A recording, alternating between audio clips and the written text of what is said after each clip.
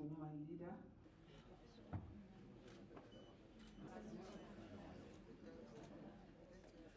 You know, occasions like this only comes once. Let's come and condole with her because, you know, she's shown me and uh, it's her duty to her, but um, from her, I saw a lot of support from her.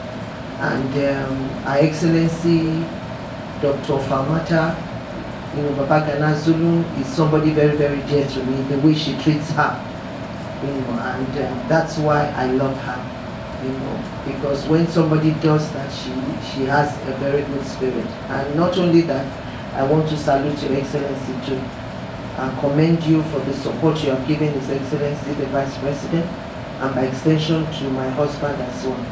I want to thank you for the great work you've been doing, even throughout this subsidy removal, you've been there, back, front and center. We salute your courage.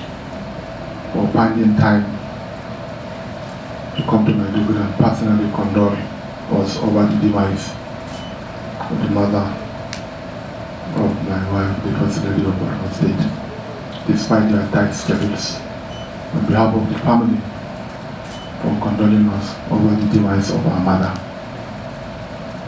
We in Borno State, we shall continue to support this administration under your distinguished husband. And inshallah, we shall do everything possible within the Northeast sub-region to ensure that this administration succeeds in all the developmental effort that